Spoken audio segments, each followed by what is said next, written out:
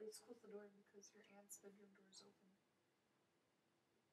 Your aunt Yvonne is right there asleep, and they have their bedroom door open.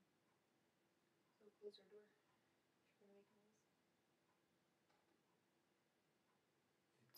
It's four thirty in the morning. God, that's really loud. Honey, I'm trying to make an iMac movie. I said close the door.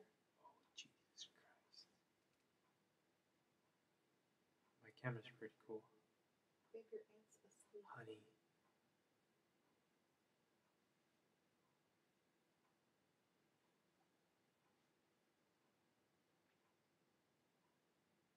Wow.